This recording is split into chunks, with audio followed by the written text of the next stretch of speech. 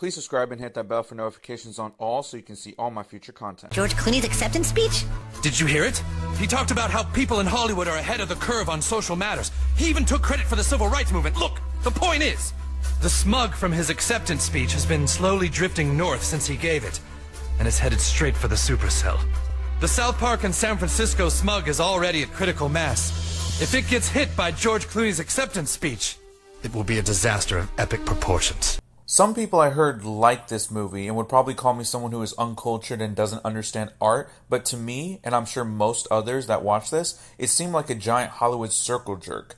What was the point? Don't know. What was the story? Don't know. I sound like a critical drinker. Just supposed to be entertained by a confusing script with great flow and that uses cool words with a decent music score, I guess. And besides those things, the only satisfaction to be found within the movie is that you got a contact high bump from the smugness and self importantness of the stellar cast, admittedly, being projected off the screen.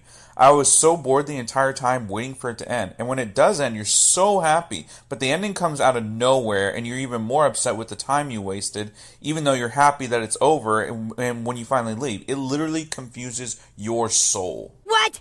You can't be serious. You people like this? Some of the imagery is unbelievable. A woman pooping out her boobs is not good imagery. Says you. You must be a pro life nut, huh?